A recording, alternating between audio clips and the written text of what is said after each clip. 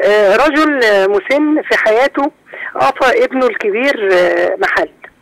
وجاب إخواته وقال لهم أنا هدي المحل ده لابني الكبير وفي مقابل كل واحد فيكم ياخد جزء من المال. جزء من المال كده يعني جزء بسيط مش هو ثمن المحل ولا حاجة. فتراضوا. والآن مات الوالد. على ما تراضوا عليه. مات الوالد واستسمح الابن الأكبر إخوته بعد موت الوالد. لا داعي لاستسماحه لهم. ما دام فسمحوا هم سمحوا. لا طيب. بأس عليه.